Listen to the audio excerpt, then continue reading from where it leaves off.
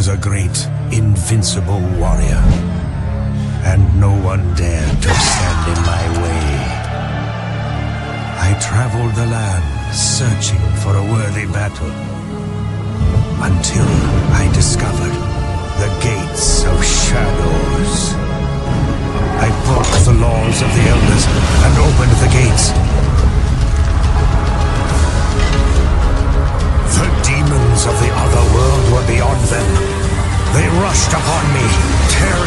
Flesh, draining my soul, turning me into a shadow.